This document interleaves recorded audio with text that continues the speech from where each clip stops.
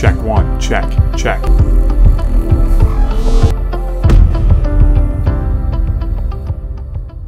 Welcome back to Let's Talk About That.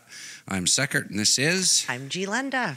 and today's topic will be a fun one. Today we're talking about getting fucked in the drive through or fucked in the drive through. And we had that experience today. We did. Um, We we started off the day by uh, going on a field trip, and we had a few errands to run, and we kind of like to treat ourselves once in a while to some McDonald's French fries because they're the best, Best. The best. right? Because they're gluten free. hmm That's the only thing at, at McDonald's that's gluten free. And Right. so when you tell me that we're going to McDonald's for fries, I salivate Yeah. until we get there. The show is not about eating No. At all, but it's an experience that we had when we that went there. Mhm. And so we pulled into the drive-through and placed our our order. Uh, wasn't a hard order. It was a couple of drinks and two large fries, salty, hot fries. Right? McDonald's has the best French fries. They do. And uh, I ordered, ordered a couple cheeseburgers, so you know, to feed the temple, right? yeah. Okay. and uh, we paid. We should probably say we paid. So the bill was like, Twenty-one fifty. was it 20, Twenty-one fifty. 2150 or 2125? 2125, because you gave me a loonie and a quarter. Mhm. 2125. Mhm. And so we paid with a $50 bill and a loonie. We're in Canada. And a quarter. Mhm. So that's 5125. Mhm. And it's interesting because people don't know what to do with that in today's day. You know what? It's terrifying. It's terrifying. Right. But to set the stage, we just wanted 30 bucks back. Let's do the math. It's pretty quick. It's pretty simple. Don't got to think about it. Because math makes sense. Right? Yeah. Mhm. Math makes sense. Like, so, so the, the woman that, that took the, uh, went, we had to drive to window one. And so the cashier was not really young. She was Oh, she's probably about 40. about 40 ish type thing. And she took the money. I should have brought some money with me. But she took it and she held it in her hands like this, right? She's holding it, and I'm watching her through the drive through through the window. And she gets on, she's got a headset on, and she doesn't know what to do with the money.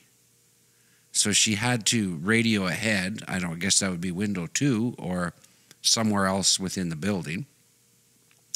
And I heard her say, I have $51.25. What do I do with this? Because not a lot of people pay with cash anymore, which is sad, right? Sad on every level. Um, but But McDonald's still has a cash drawer. well, for sure. When you, yeah. I mean, there's no signs there to say they don't accept cash, No. right? No.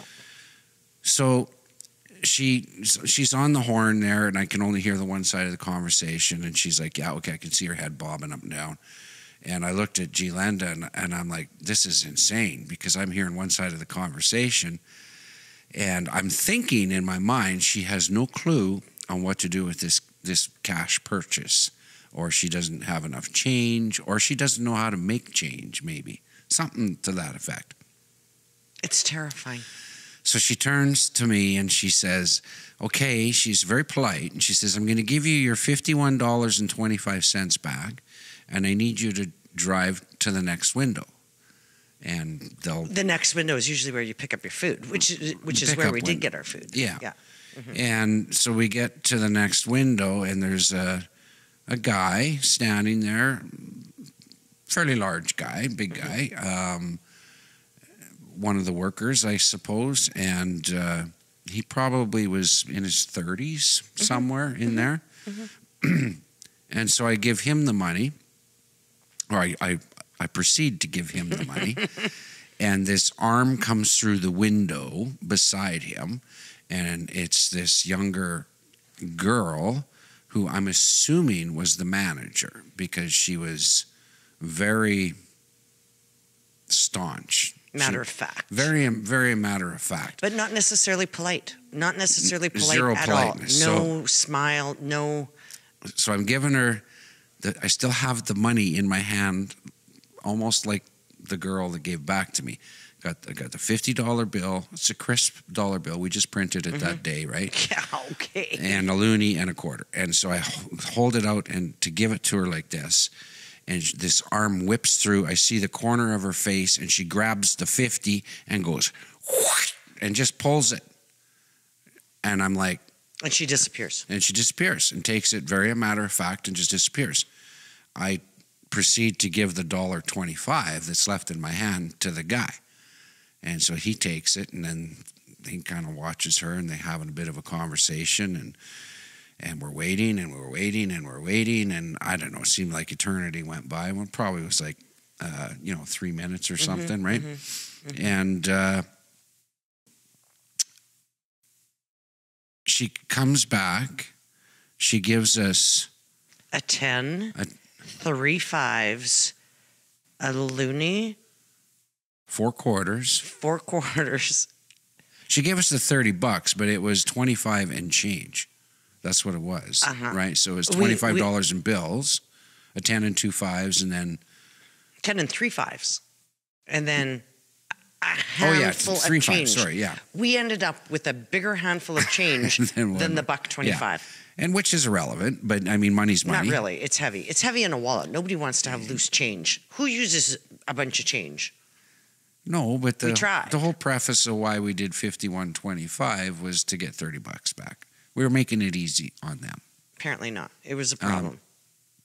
anyways, point to the story is uh, so we take this change and, and whatever, and they give us our bag of food, and we ordered ketchup with the fries. And so I asked the server, um, the guy, if remembered ketchup. Yeah, yeah, it's in the bag, right? And it was. It was in the bag.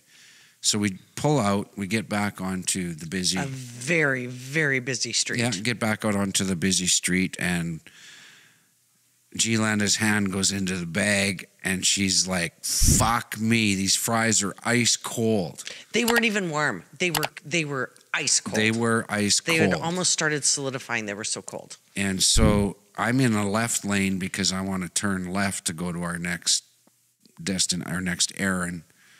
Uh, G'lenda says, "Tell her what you said." I am not happy. We have to take these back. I cannot eat these. I've Can- been looking forward to this for two hours.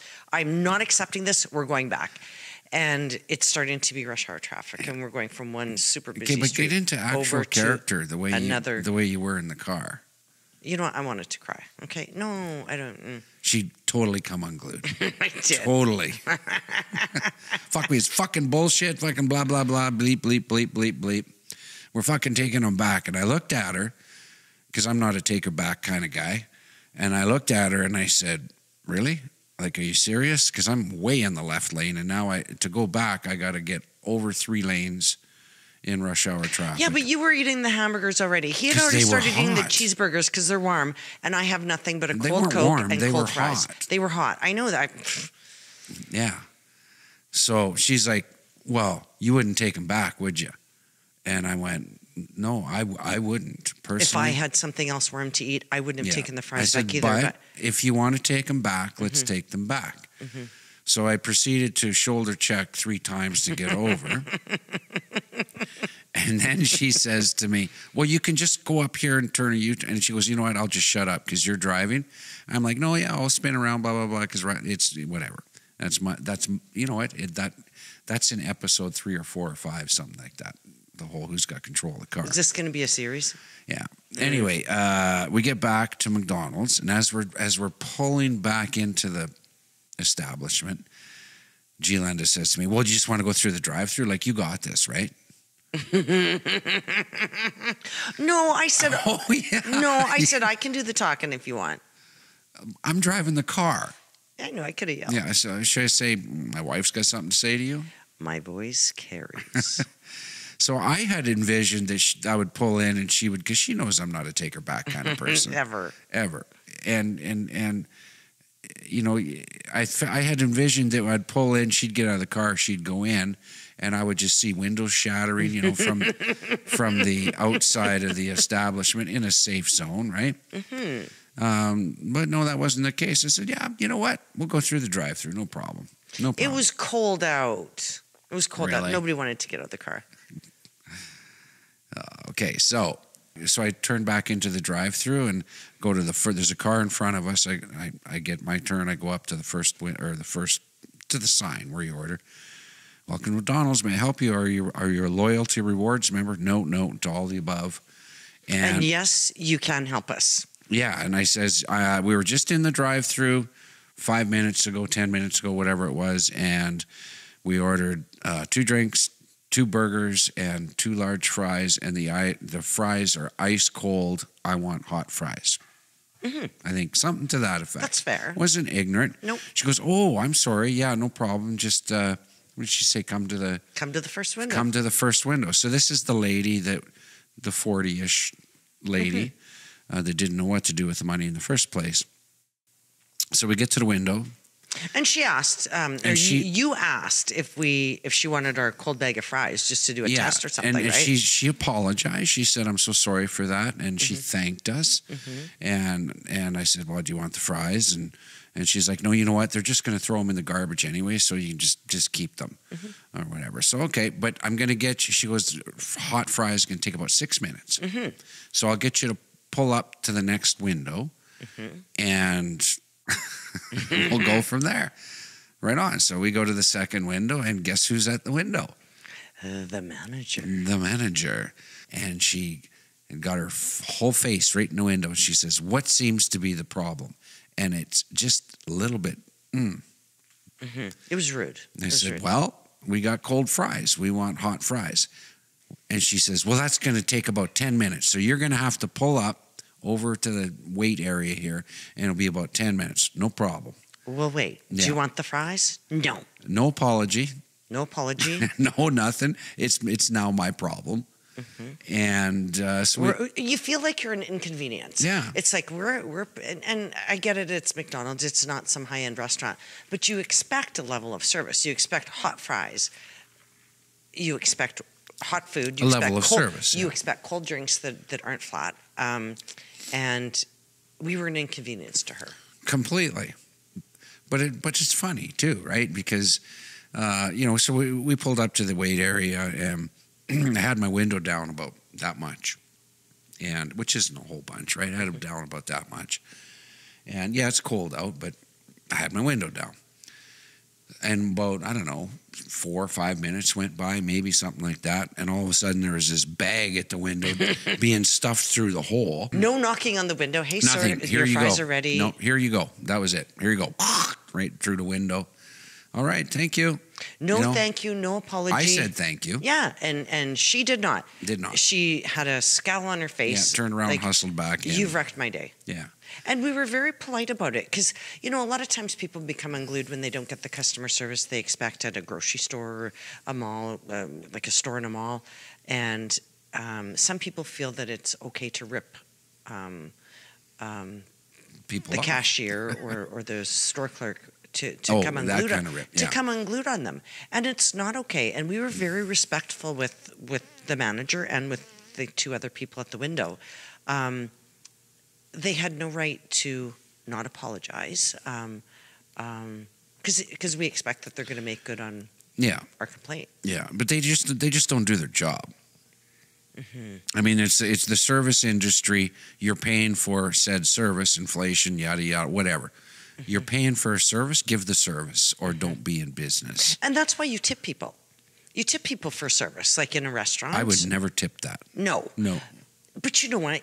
There's there's restaurants and um, takeout restaurants um, that have this automatic tip thing that comes up on your on their keypad when you're picking up a pizza Yeah. or picking up something. They're pressuring you into leaving them a tip, and they didn't do anything. But they don't even give you an option to No. to it's it's 15, 18, 20, 25 and it has to fit in there. Yeah. And and there's sometimes there's not even an option to say no tip. I don't want a tip. I had terrible service. But why would you tip Yeah. when you're picking up a th- pizza that you ordered? There's nothing for them to Yeah, I think tipping I think that's a whole another episode because there's a whole bunch of. Remember, we looked at that stuff, and do you Okay. remember? Okay, so we're going to cut this out I, of this I, one. I think maybe. Okay. Uh, because we because we've got all those shorts and stuff that we wanted to. Okay, okay. You remember what I'm talking about? Yeah, that yeah, that that business owner that said your pricing's going to go up if Mhm. if you don't tip well. Okay, so we're going to cut. Yeah, Okay, yeah. So that's a whole nother. Well, Mark. that's fine. We'll we'll probably leave that in too. um. Anyways, the point is that that the level of service in the service industry is appalling. it's declining. It, it yeah, it's disgusting. It really is. So why does that happen? Why why where like I, I remember back in the day because I'm old as dirt. Um, Mhm. the drive up windows when you actually had you know the servers coming out of Dairy Queen or whatever on roller skates and and put. A and W and hanging hanging your tray on your window Mhm. right back in the day and with a smile and you know nice cute outfit and whatever. But but people i mean times were a lot easier back then. I don't want to go down that road but um, times were a, lo- uh, much more simpler back then. But the level of service was high end everywhere you went So the level of service when Yeah. we after we were done the fries and we went to to get gas yeah at the gas bar, and it was busy in there. Um, hmm while I was standing there waiting for for you to fill up the, the vehicle, there was lots of lots of action in in the um, in the gas bar, um, and there was a kid that was supposed to be running till number two, hmm standing with his hands in his pockets behind the counter talking to his buddy. And the one gal at the at the till was taking all of these customers through. There's three or four people behind um, Right, waiting to right. pay. And so once you were done filling up and I was next in line Mhm. to have my my gas rung in, he just looked at me. He, he, he his friend walked away. He's standing at the till, and he just looked at me. No, can I help you? hmm um, next person in line. None of that. He just stood there with his hands in his pockets, a little toque on his head, and he had fluorescent blue hair. And so uninviting. So, you know, Right. thank you for shopping here. Come on, I'll take you. You know, right how's your day? None of that. None of this nya nya. And he just stood there staring at me like I'm supposed to come into his lineup now. hmm And I just looked at him and I said, no, thank you. And I stayed in the lineup that I was in. So uninviting and so rude. right why do you think that is I don't know, and I, I so- sometimes have to think, okay, what's going on, what's going wrong in his day? Um, clearly, he's not happy that he hates his job. I don't know, has no respect for his job has no respect, and, Yeah. and maybe the maybe the gas bar doesn't do a lot of customer Yeah. service training with these young kids because he was probably 18 years old. yeah Um, So you know what? I think it's an interesting, uh, uh, not a dynamic, but uh, I'm, I'm just I'm thinking on the fly here. Um, I've always I always used to say the most underpaid people in in all of society is people that are in the in the public service industry, mhm. like the the fast food workers and the restaurants and Cashiers, cashiers, the hotel business and the caterers and all that stuff because they put up with the most bullshit. and they and, and they're usually really underappreciated, Un- underpaid. They're Mhm. underpaid. underpaid and Yeah. underappreciated. Yeah, Right. Um, and I used to really, really believe in that, you know, because you don't need some oil tycoon CEO or CFO, you know, pulling in three, three and a half, you know, hundred thousand dollars a year, and and this this person's working way harder than that person has ever worked in their lives, probably, probably, Mhm. you know. Uh, but that's changing, in my opinion, because we as a society are killing the service industry they're not working hard and they're not working anymore. So maybe they've caught on to the fact that they're underpaid or something. I don't know. so they'll work at 20 percent. Something like that. I'm not really sure why, but mm, uh, you know, everybody works hard for the few dollars that they do have, and there's value to that. So when you go out to order fast food or to buy something in a store, you expect to be appreciated that you're spending their your money at their establishment. Because if the if the establishment didn't have customers, Yeah. they don't have a job. Yeah, and I know this is beating an old dead horse in in a way, but um, There's some humor in it. You know, you know what I love about uh, you can kind of fuck with the young kids, right? That are in the in the workforce, and it's like they don't know how to dial a, a rotisserie phone, right? Rotary. Just what did I say? Rotisserie. Rotisserie. well, you know what? Mine was rotisserie. I could put a chicken on it. Uh, rotary phone. Yeah. Uh, fuck rotisserie.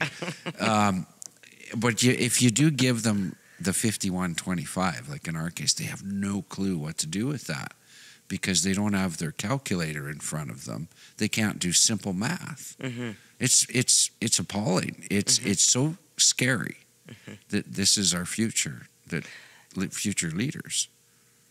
It's crazy. Yeah. But in all fairness, a lot of these young kids never do have cash. It's all debit and credit. It's it's it, we're- Yeah. We're, moving towards a cashless society. Well, we are, but we're not there yet. No, we're not there. Like, how many kids do you know? I have a, I have a kid, a child. I have a few of them. Mhm. Um, I, I had a child for many years. It blew my mind. They can't even tell time on a regular wall clock, not Mm-hmm. a digital clock, but one with two hands and a second hand. Right? Mhm. Yeah. No idea Mhm. what what ten fifteen looks like. Mhm. Quarter after. Quarter what what is quarter after? You know, they, I don't know. They have no clue. That's because you're old as dirt. But that's that's I mean, I don't know. To me, that's a skill. I suppose that's Mm-hmm. that's it's not a. Uh, it's not a wasted skill.